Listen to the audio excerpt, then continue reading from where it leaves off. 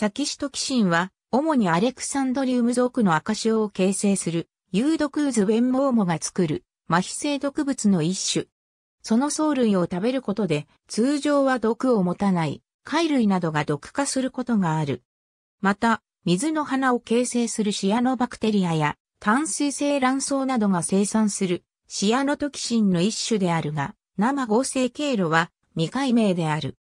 サキシトキシンは1962年に北米産の2枚以外の学名にちなみ命名され、1975年にシャンツラ、ラパポートラによって X 線結晶構造解析により構造決定された。サキシトキシンには約30種の同族体が存在する。テトロドトキシンとともにフグ毒の成分の一つ。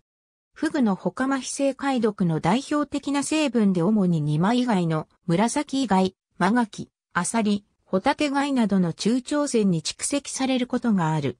また、房総半島以南の磯周りに普通に分布する、大ギガニカノカには筋肉に蓄積することがある。パナマ産のヤドクカエルの一種も保有することが報告されている。